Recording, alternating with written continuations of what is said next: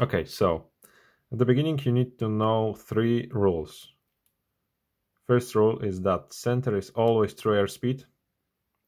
Second rule is you mark wind velocity always below the true airspeed mark.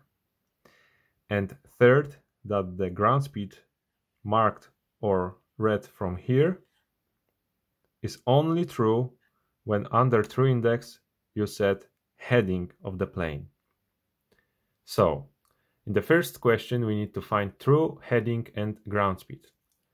First step is to mark true airspeed, which is 180 in this case.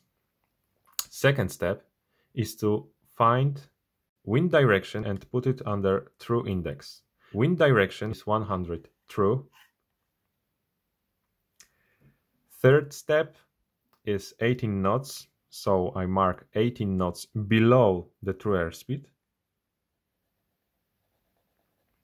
And fourth step is to find true track, which is 180 given by the question. Now you can see my mark move to this position and this means that we experience 6 degree right drift. And as you may know, Drift is from heading to track.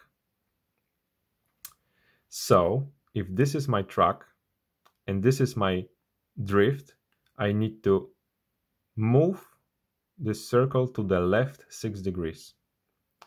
This gives me 174 degrees.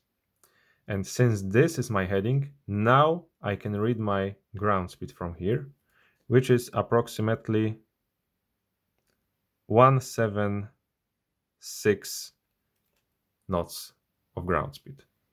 So in the next question, we need to calculate uh, the true wind direction and velocity.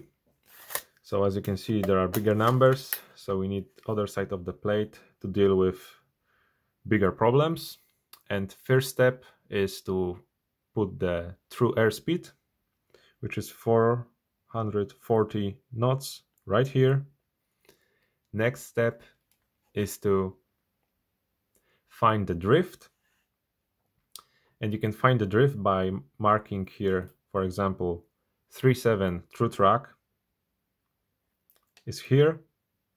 And the true heading is 42, which is here. And as you know from previous question, the drift is from heading to track. So it's in left direction. It's difference of 5 degrees. So I mark 5 degrees on the left side.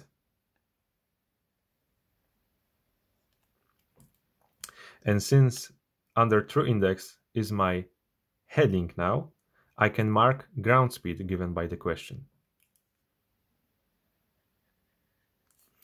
I made two lines here and here and to find uh, wind direction and velocity, I need to put place where this two line cross directly below true airspeed, right here. And this gives me my wind direction, which is 82, and wind velocity, which is 10, 20, 30, 40, 50, 55, 55 54 knots. And that's it.